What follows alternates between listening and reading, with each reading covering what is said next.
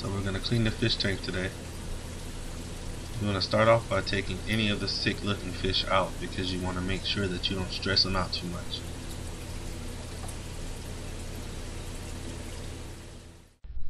Every now and then you want to clean the filter. So what I first do is I pull out the intake tube and then I take it to the sink and clean out the tubes. I replace it after I do the siphoning of the gravel and the pruning of the live plants. Now right here, I'm going to start the gravel vacuum. Now how I do it sometimes is this is what you have to do. You stick in the tube underneath the water until it completely fills with no air bubbles. You lift it up kind of in the air while holding the end of the other side. That way it fills the tube up. After that, you can just release it and the water will pull and start a siphon as you can see.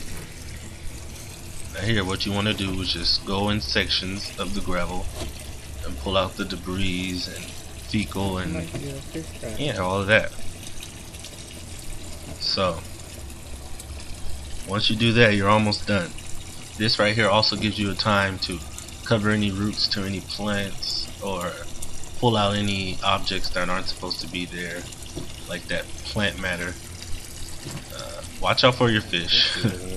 I've sucked a fish in before, so just watch out for the fish.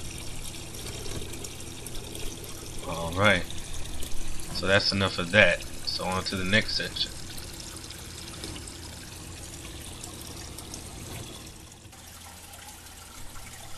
Alright, and as you can see here, that's about a 20 to 25% water change you want to do that weekly. That's what I like to do.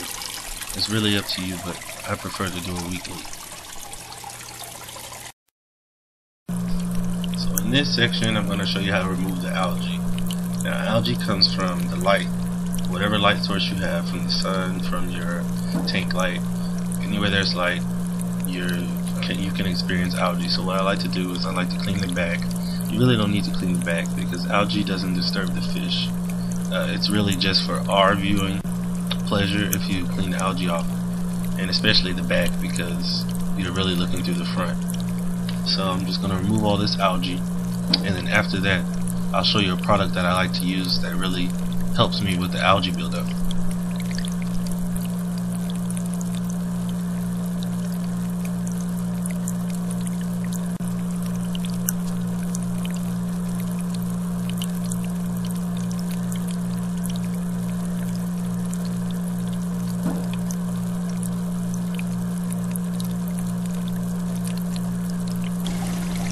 Alright, this is the product called Algae Control. It really works. You give it about maybe two hours and everything's all clear and nice and it prevents algae. It helps prevent algae from growing back quickly. So right here, depending on the size of your tank, just follow the instructions, but I use two caps in my tank. Okay, so right here we're going to do some pruning of the plants. Pruning is basically maintenance. You're cutting off overgrown plants, brown leaves, dead leaves, anything like that which uh, in turns it helps your plants out because the dead leaves are taking the necessary vitamins and trace elements and you don't want that so just cut them off. And this is your end result. It's not all the way clear yet but I'll have an update. Uh, thumbs up and subscribe. See you next time